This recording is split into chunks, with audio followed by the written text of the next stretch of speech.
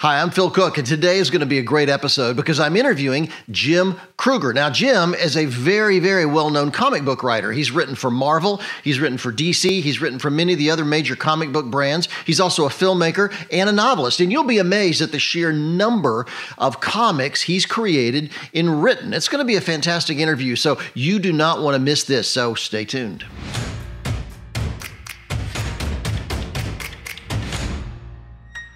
Jim Krueger, it's incredibly exciting to have you on the show today. I uh, we've been trying to t- pull this off for a long time. We finally got it going, and I'm just really, really thrilled you're here. You're, by the way, you're the first comic book writer we've ever had on the podcast. So there you go. You're a first. Awesome. So it's, it's upwards from here.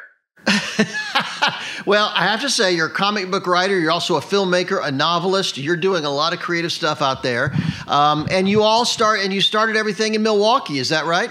I did. I did. Milwaukee is where I grew up. Milwaukee is where my dad used to take me on tow jobs and get me my first comic books because I'd hold the rag for him. That was my that was my job. You stand here, hold the rag, give it to me when when I'm when my hands are dirty. And that's what I would do. But but he would give me Jack Kirby comics. He would give me Spider-Man. Wow. He would give me, you know, everything and tell me stories about how his father when he was sick would bring him a stack of comic books and that so there's kind of a legacy there's even a rosebud mentality that you know if i get really rich one day and stuff yep. like that my dying words will be Spider Man or something like that. I don't know. well, you know, it's funny. I growing up, I had an incredible affinity for comic books. I had a collection that was taller than than I was, and I made the mistake when I was about twelve. But you were uh, little. when I was little, I made the mis- well, yeah, I was. Um, but I made the mistake of loaning him to a guy that lived two doors down from me, Ricky Baker. I'm going to say this if he's listening, uh, and he stole them. He stole my comic books, the entire collection. He never returned them. Uh, went to his house and he said I never gave them to him. And his dad came to the door and got real indignant. And to this day, I've never forgiven Ricky Baker for that. Swiped, I mean, I had a ton of comic books, loved them. So anyway, I'm totally in your, your vibe. So, so there, there's also an apocryphal story about a trip to Disney World that kind of got you into this whole thing. What, what was that? Go- what was that about? Yeah, well, well, because my dad had had his own business and was a mechanic and had all these guys working for him when he wasn't taking me on tow jobs, my mom started putting the pressure on him to do a family vacation. Ah. And so we um, we got on a train. It was a, a train like from Milwaukee to Chicago, and then a sleeper unit because trains were so much cheaper in those days, all the way to Florida. Yeah. And halfway down, there was a there was a hurricane that hit Florida, and my mom, you know, who never wants us to suffer, never wanted her children to suffer, even to this day, would made up things like, well, maybe there's a lot you can do inside a Disney World. It's not going to matter. And my dad, who had been kind of in the military, he's he's kind of he doesn't quite tell all the stories related to this. He said, well, when I was in the military in Florida, those storms could start and stop right away. But meanwhile, it's a hurricane. So the day has come, the train has gotten there. And There's another little comic related thing that I'll say afterward but we've gotten there and we're all in, you know, our yellow ponchos, ready yeah. to go into Disney World. We go by the gate and, you know, there's because I'm a Disney nut, there's um there's the train that goes around at Disney right. World. You have to go underneath and um you have to go like through a tunnel and that's where they have all the all the like lockers, all the different places you put stuff or whatever. So anyhow, between entering that what I call a tunnel and coming out on the other side of Main Street, the hurricane broke, like it stopped. So I went in and storm and the darkness, and like, you know, it's not even a maybe it's a half a block, but maybe we put stuff in a locker so it took longer or whatever. But coming out on the other side, and you had like these angelic beams of light streaming through clouds with puddles that reflected the castle and Main Street. And I was like, what? And, and my dad looked down at me and maybe his said his greatest words ever. He said, Now you know why they call it the Magic Kingdom. I was screwed up from there. I was like, I was just messed up from there. From that point on, somehow I didn't even know at the time I was going to be a storyteller. Somehow the ideas of going from storms into yeah. bigger darkness into something that was even magical or unbelievable, somehow that got into my DNA. Um, and, you know, I didn't know because I would have been six at this time. I didn't know that my first form of storytelling would be to be a chronic liar to get out of doing homework in grade school. But you know what? Worked. I'm, I'm not judging myself. All right, so you you got you you really started in in the advertising world, right? Is that how you got your career going? I did. I did. I started in the advertising world because I was um, good at coming up with funny puns and sayings and stuff like that. I really didn't understand business. So my first couple advertising jobs would be I they would put me on the creative stuff. Yeah. That no one was paying for, but it was part of being part of the industry and stuff like that. But I won some Addy awards and you know, I kind of had heard that you need to really be true or one way to always kind of stay on point is is to be true to what those dreams were when you were when you were a mm-hmm. child what those those things that were yep. your first loves those things that were your first hungers so i went back to comic books i was like you know what i've got i've got a degree in advertising and copywriting and marketing.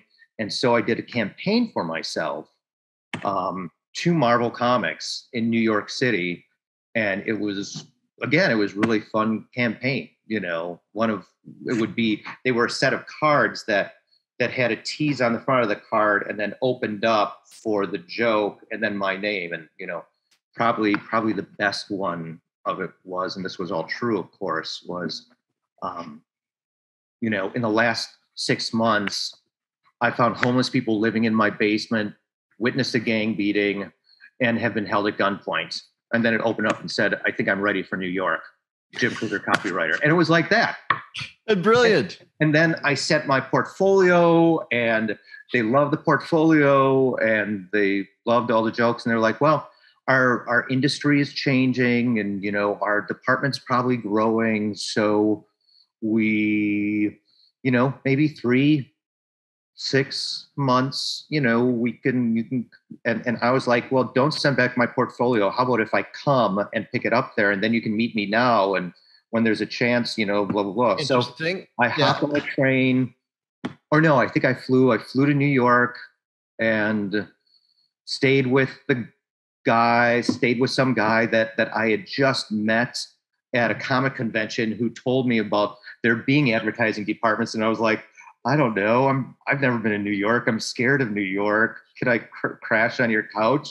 And he was like, to his credit, he was just like, yeah, come on out most people just assume I send them a resume and a cover letter, and that'll be plenty. But particularly in a creative role, if you're trying to apply for a creative job, coming up with that card, those cards, something different, something off the wall that really gets their attention, I think that's really important. I think you really hit on something there. Oh, for sure, and you have to prove yourself. So, like the, even the cards I was sending, one of them, you know, had a shot of Spider-Man, and the word balloon was was whited out and it opened up and said, I think we both know what's missing. And Krueger for words. You know, it was like that. And then another one showed I was I had spread across the image all the comic books, you know, that that I had and collected and every business is special. I know all your issues. Jim Krueger copyright. So it was like it was like yeah. like like in each case I was proving to them that that I was familiar with what they did, you know, that I had the degree, I had the portfolio, I was willing to come to New York for not a lot of money. You know, I think my last one uh, said on the front, I hear you're looking for someone to write copy in your advertising department. And then it opened it up and then handwritten, I wrote copy in your advertising department. Am I hired? How did you make that transition to actually writing co- from doing you know, advertising for and promoting the comics to actually writing the comics. Before I had even gotten to Marvel, I started noodling with the idea of of writing comics. I created a couple IPs, you know, as they are now, and you know, they're one of them especially is still going and there's hope for another but i may do that as like a novel instead at one point um, but i was playing with the idea and and i did i did dummy i did dummy like like todd mcfarlane is is this he's the guy who created spawn his run on spider-man and the hulk is revered and so I was really, I was really inspired by this writer of the 80s named Alan Moore. Like his stuff is is crazy now, but this is the guy who gave us Watchmen, Swamp Thing, wrote probably the greatest Superman stories ever written. Um, and I was into his stuff because part of what he was doing was was something that as an advertising copywriter I was doing. Yeah. And that was something that Alan Moore did.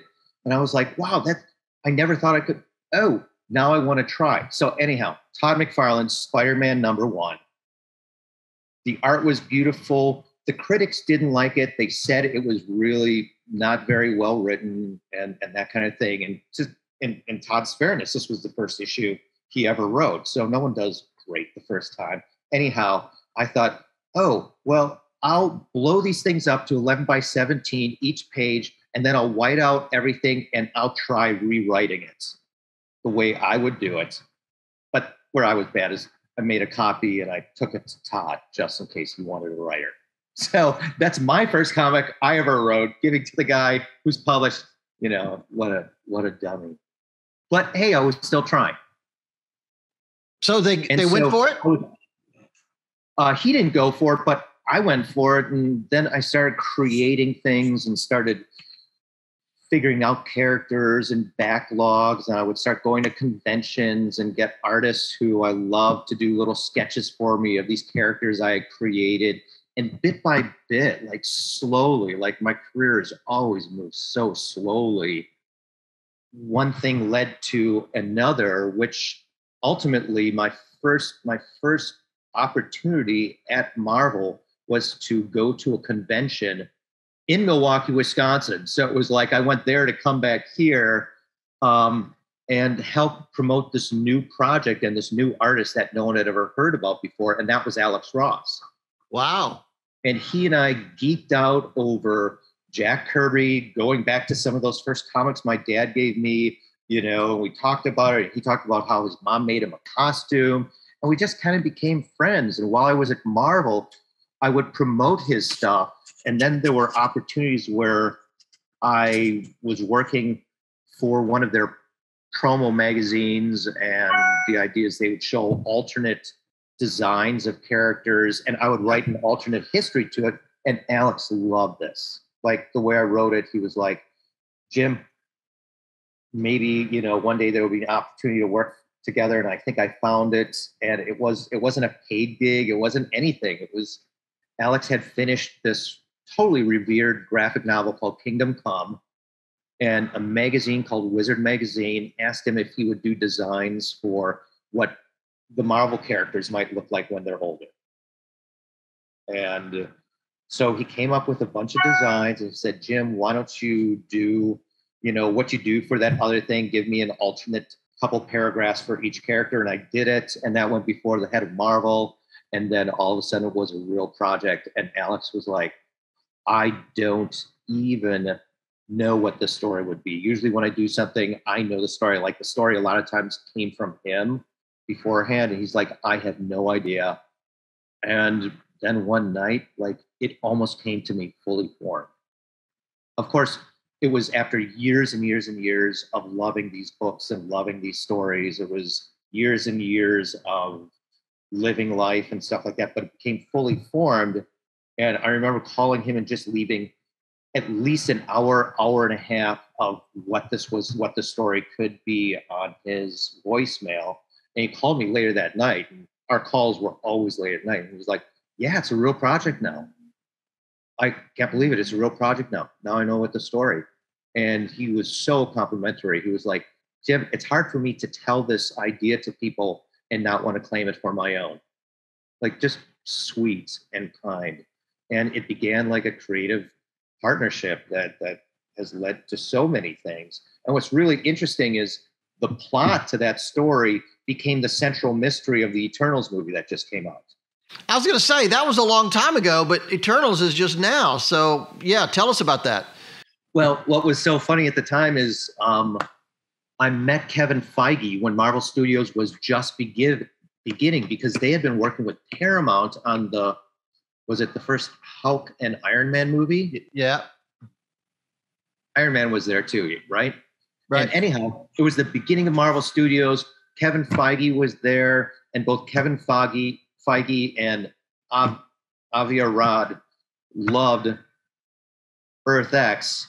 And then they found Foot Soldiers, which was that creative thing I was working on before I even worked at Marvel. And they were like into that. And, you know, Avi tried, he was like, maybe we could make this a movie, you know, but but it was like in so many ways, it was inviting me into a world or through a door that I hadn't yet passed. Like like there was the door to writing comics and and I got through there, but the film thing was was another side of it. And then it was crazy because I was in a back I was like I was living I was in New York but living in Jersey and um and I'm in the back of the bus. I see some guy next to me. He's reading an article industry article and there's a shot of the new Jonny Quest TV series. And I was like, yeah, I don't love the new series, but that old cartoon was so important to me when yeah. I was a kid, blah, blah, blah. And I had like, I always would have some, some comics or something on my lap. And um, he said, oh, what's that? And I told him about foot soldiers. And he said, you know what? Me and my partner might be into this project. And I was like, we've we've made movies before, and I was like, well, would I know any of your movies? And it was Michael Uslan, the producer of all the Batman movies. Oh and my we god! are on the eve of another Batman movie with Michael attached, and he was this. He's he was such a kind, inspiring, patient guy, and he had he optioned it for a couple years, and it was set up at Paramount, but there are all kinds of things going on through Paramount. Um, so so ultimately, the option lapsed, and he said, "You know what? I'm not ready to give this up yet, but I so believe you in a writer. So if you give me a free option for two more years, I'll teach you how to write a screenplay." And so, okay. you know, it didn't go past. He didn't get it past the option, and blah blah blah like that. But I got this one-on-one experience of writing with him that then put me on another trajectory. Yeah, I was, you know, I did a summer's directive intense workshop at NYU and you know came up with a an award-winning short film that they still use to show you what you could do in that little directive. Well, okay, for for people that don't really know a lot about the comic world, explain a little bit about how it happens. You're the writer. Do you bring the idea to the table? Do you bring a fully fleshed out story? Uh, how do you work with a with an artist? How, how does the whole thing work? So, I mean, the whole process is pitching, and oh, that's so good to talk about. That's you know, one when like being able to pitch is is like vitally vitally something you have to learn like whoever and and we become yeah. writers because oh we're internal people and you know we think about oh you know especially especially in hollywood but but even in comics you have to be able to tell your idea. You have to be able to, almost like you're at a campfire, get someone nervous about your characters, get them excited to see what happens next, get them in, in so many ways. The idea of pitching, whether you do it on paper or you know verbally, again, it's kind of like advertising and marketing.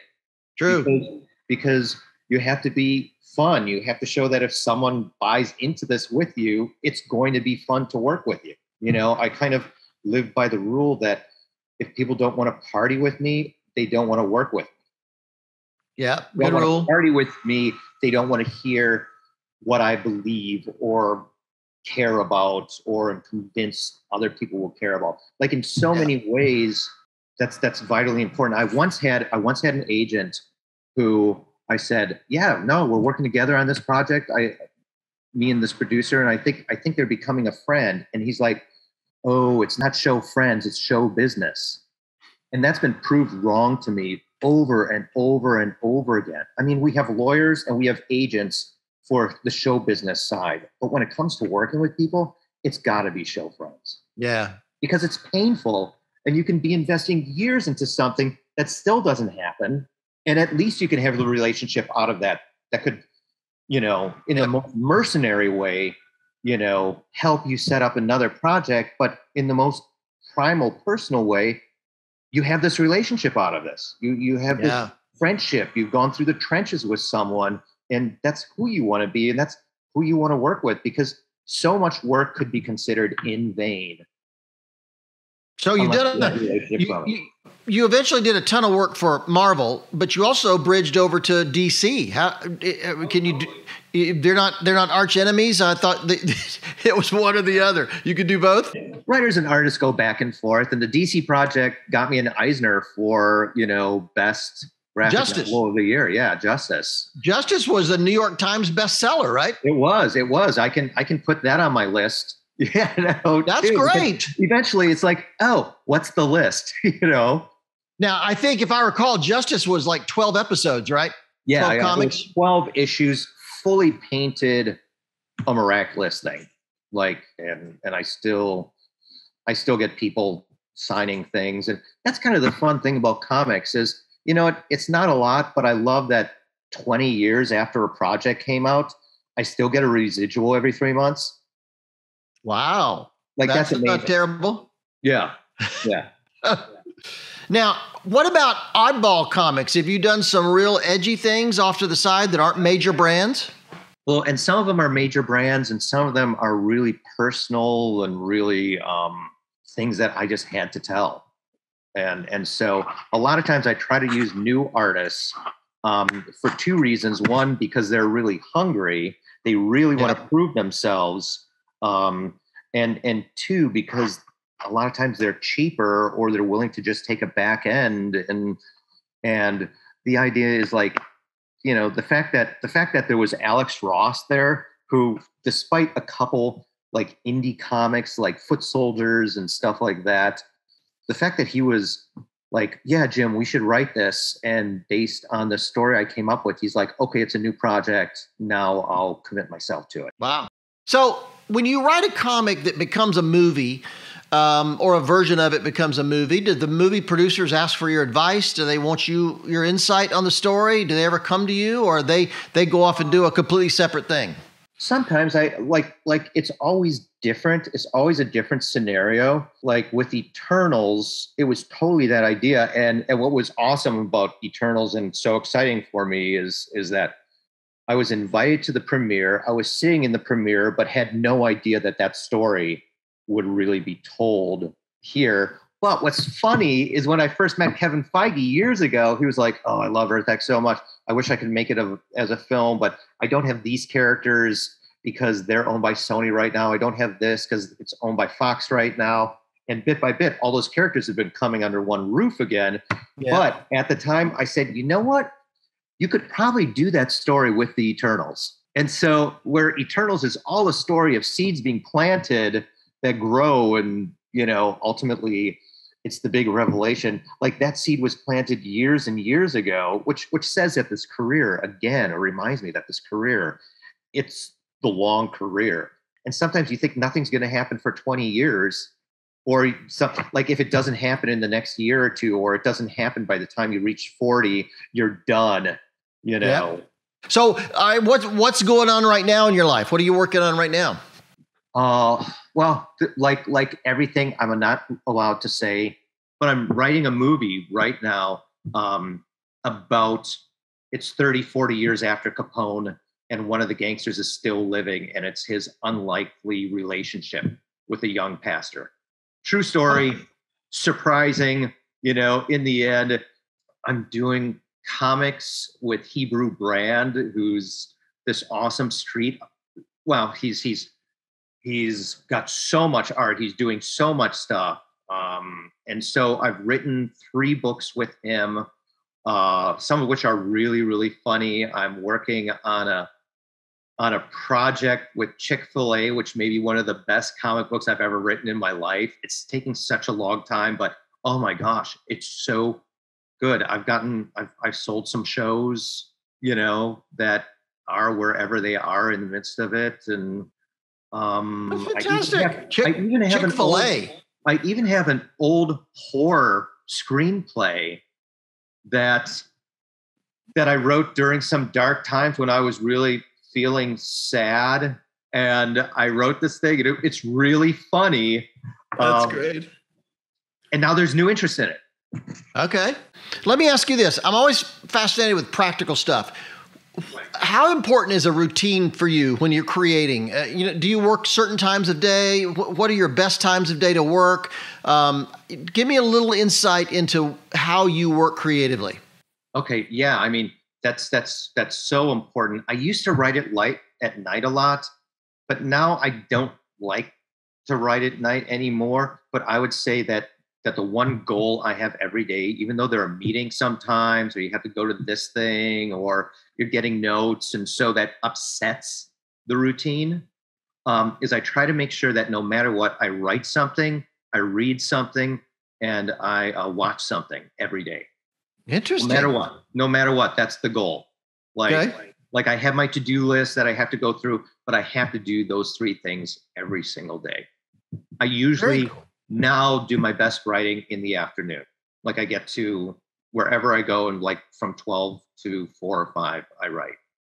That's probably my worst time of day. Um, I'm I'm a I'm a morning guy. Afternoons are for naps.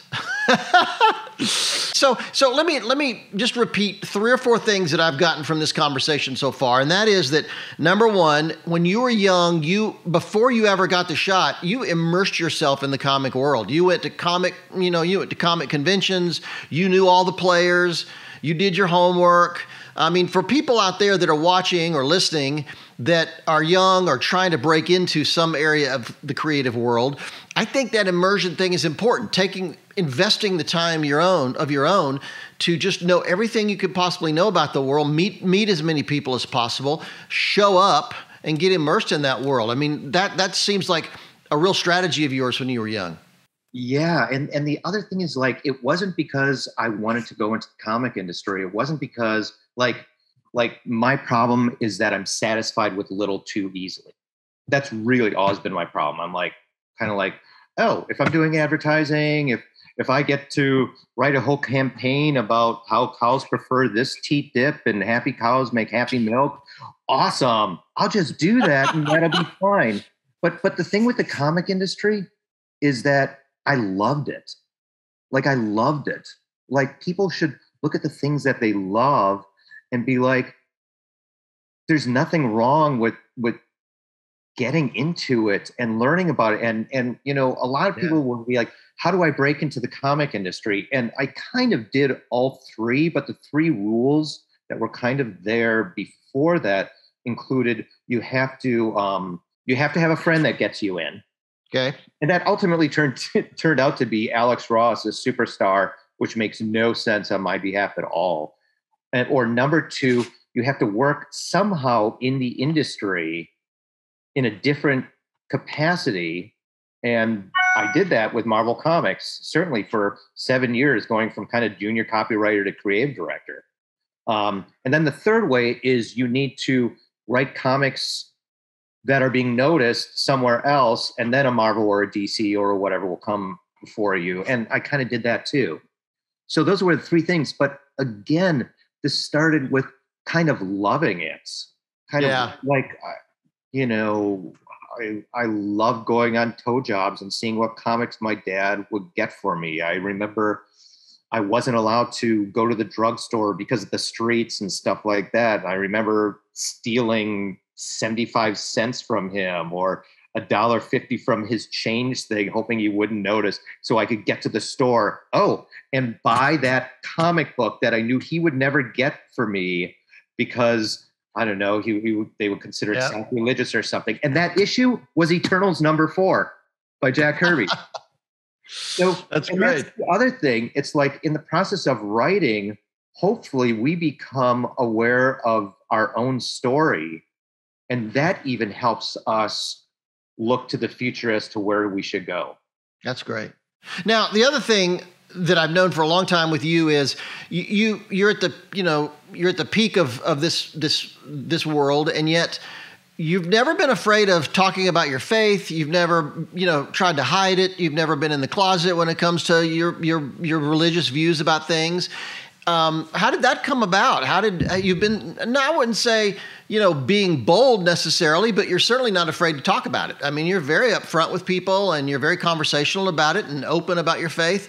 Um, see, you know, how did that come about? That's really what it is. Like, like in cases like this, I don't go into what I believe at all because we live in a world that that that that minimizes everyone.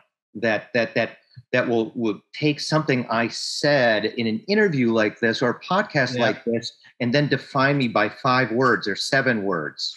And you know what? It's okay to define a product in seven words in advertising. That's not okay with me. Yeah. And yet, in other cases, they're looking for champions. They're looking for people to grab onto. And I'm like, I'm always willing to talk about what I believe. And I usually say, you know what? I'm somewhere between Halloween and Christmas. And that doesn't mean Thanksgiving. So, you know, that's where I am. My faith is so big. What I believe in is so big that a single conversation can't do it justice. That's really, you know, it reminds me a lot of a.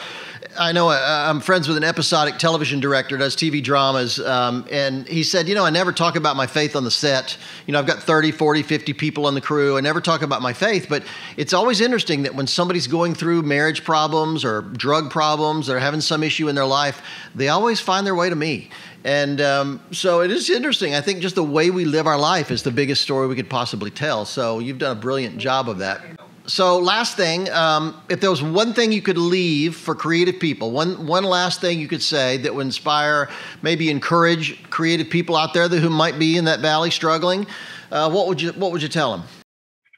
Uh, well, you know, I, I already said it, but I would say write something every day, read something every day, watch something every day. All right, that's um, good. Because because each of those things, each of those things inspires. Each of those things break us from quote unquote writer's block. Reading something, you know, even even in the valley though, even in the valley, doing each of those things gets us out of our own story. And I'm like, we have to be aware of our story, but at the same time, we're saved by story. We're brought out of the valley by story. And then the valley becomes a peak in and of itself almost because we're able to draw on something that wasn't there before. That's powerful stuff. Jim, thank you. You've been amazing. You've been awesome. And um, we'll look forward to the uh, biopic. We'll look forward to what's going on in the future and stay in touch and see what happens. And you've been terrific today. And I really appreciate you coming on. I'll tell you, that was a great interview with Jim, and I, am so grateful for him, his his really his witness in the culture, his leadership. He's just a great character, a great guy, just a super friend. And I just think more people need to understand how people like Jim get to that apex of their career where they're doing so well. He's just an accomplished, accomplished creator, accomplished writer, and I'd, I'd encourage you to go check out his comics, check out his novels, his film. He, he's done enormous number of things out there in creative world, and it's certainly worth pursuing. And, and remember, if you haven't gotten my book, Maximize Your Influence, I'd encourage you to do it. How to make digital media work for your church, your ministry, and you. If you happen to be involved in communication, uh, particularly for a church or a nonprofit organization, a ministry organization, you need to understand how to maximize the digital world that we live in. This is a reference. And I'll tell you, get a, get a copy and send it to your pastor. Get a copy and send it to the CEO of your organization because that's really who it was written for leaders to help them understand how to lead lead teams, how to understand websites and social media and short films and videos and things like that. It's going to be a real resource for them. So I'd encourage you help them with their career, help them move to the next level and help them get your organization known in a far bigger way. Get them a copy. I'll look forward to seeing you next time.